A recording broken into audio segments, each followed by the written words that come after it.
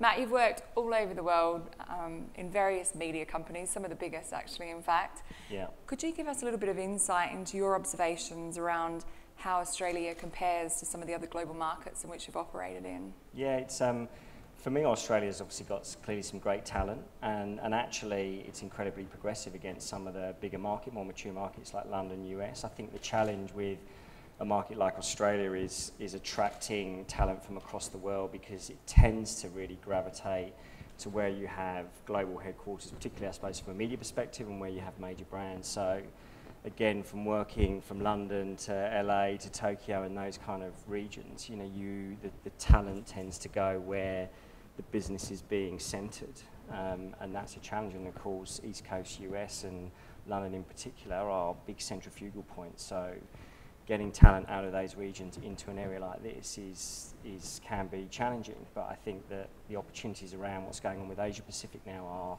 actually becoming much more attractive for that kind of talent to come into a region like this. Brilliant. And it clearly is a challenge, and we, and we do hear this. I mean, what, what things can organisations do to help attract that talent to Asia Pac? Yeah, sure. It's uh, obviously a very good relocation uh, deal uh, will work, but I think I think really it's um, you know we when we start to look at talent from abroad, even within our own organisation, it's really fundamentally around what the company's doing, the kind of disruption, um, what's happening with the talent you've already got within that market. Talent attracts talent without question. Uh, it's, it's a raft of different things that, you know, even from my own experience of coming here in Australia, part of what attracted me was the great combination between what was, you know, Microsoft as a global brand with Channel 9 as one of the most leading entertainment brands in Australia. And that, for me, was a very rich, uh, a rich tapestry of, of, uh, of territory to play in. So I think it is a combination of the talent you've got there and the opportunity that exists. And with the backdrop of what's going on in Asia now, I think um, you know, those combinations just have to be sold very, very well, and there's very rich opportunity here. I think as long as then the companies are seen to be investing behind disruption, talent, learning, development, all of those things, then you'll get the right people.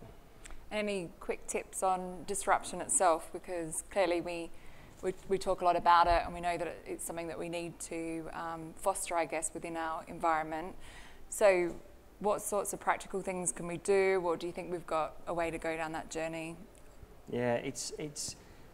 I, I find that I, I mean personally, I feel that you know disruption does need to be taught. I get that there are great creative people mm. and there are great ideation people that sort of can also sit in their own room and knit their own yogurt and come up with disruptive ideas. But when you look at the absolute core of what where people get to dis disruption in terms of great observation to very deep insight that is going to disrupt a market, that needs to be taught. People need to be taught how to interpret that, how to have clarity around what's going in particular market dynamics, particularly in new businesses that are coming in to pioneer and disrupt as well as you know, I, am I'm, I'm, a big, I'm a big lover of the disruptors that disrupt the disruptors, right? You yeah. see a lot of that with brands, whether that's an Uber over an M-Taxi and Cabcharge, mm.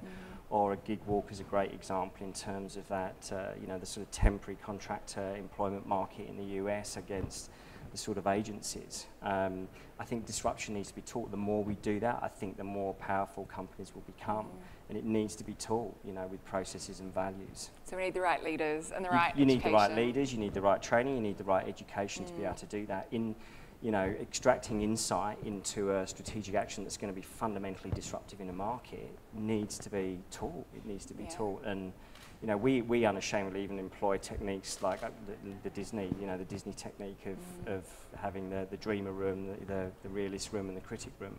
Even just simple processes like that work really, really well in terms of thinking about disruption. Great. Thank you, Matt. Thank Looking you. forward to it. Thank Cheers. you.